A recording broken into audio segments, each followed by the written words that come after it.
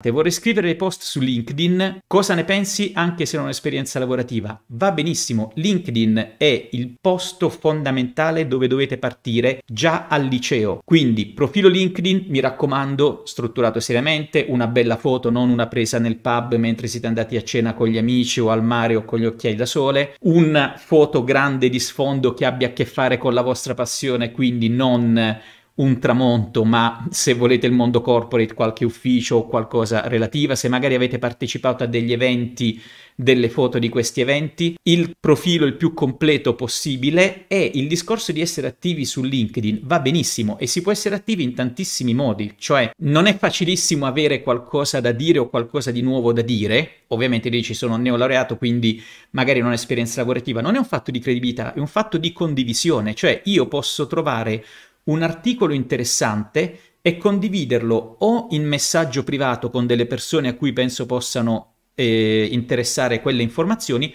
oppure posso fare un post, non devo scrivere un articolo. Ho trovato un articolo interessantissimo su questo sito, questo giornale, metto il mio commento e lo lascio là, in maniera tale che chi è nel mio network vedrà questo articolo e quindi va benissimo. Il scrivere, per esempio, eh, quello che si sta facendo all'università, se avete dei progetti, se state collaborando con dei team, è anche quello interessante per far vedere le attività. Oppure, se qualcuno delle, pubblica degli articoli interessanti o delle, fa dei riferimenti a degli studi e qualcosa secondo voi molto, eh, con molto focus su quello che vuole essere la vostra carriera, commentate, chiedete più informazioni, chiedete se ci sono, vedete il tipo di persone che fanno commenti in questi articoli, quindi non vi preoccupate, cioè il discorso dell'avere attività su LinkedIn non dovete essere scrittori, non dovete essere manager o persone che condividono cose di altissimo livello, ma anche semplicemente considerazioni su quello che sta succedendo, vostri commenti su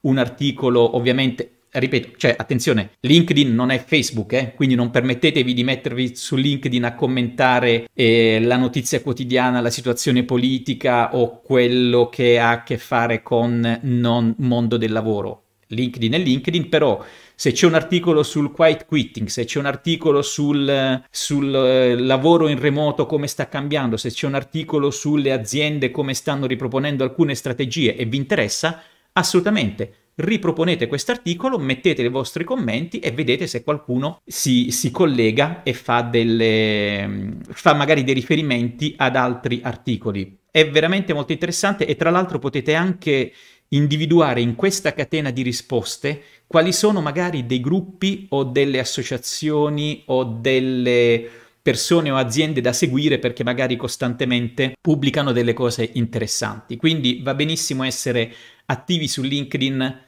anche se non siete professionalmente eh, arrivati.